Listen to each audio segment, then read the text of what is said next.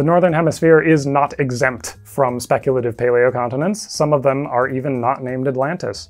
Darwin and Hooker both observed that 19th century paleobiogeographers were very prone to explaining any inconvenient floral or faunal distribution with land bridges.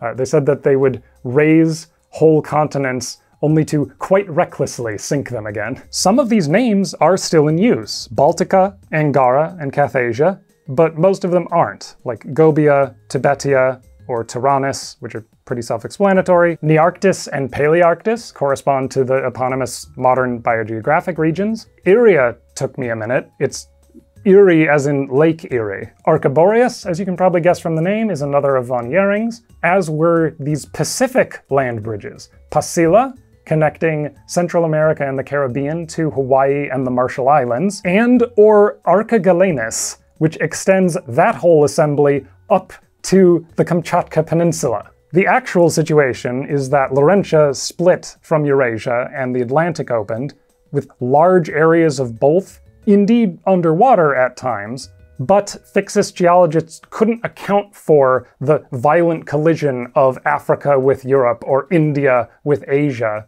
because they were working from a fundamentally different concept of how mountains are built.